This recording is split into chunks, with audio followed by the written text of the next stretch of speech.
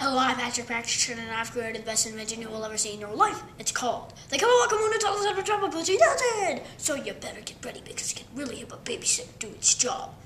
Here's how it works. The Cowabacimoonootoli zopotropupus 3000 has magnets that attract when the ball turns upside down. By the way, I'm Patrick Patrickson, and you're watching a commercial broadcasted by Disney XD.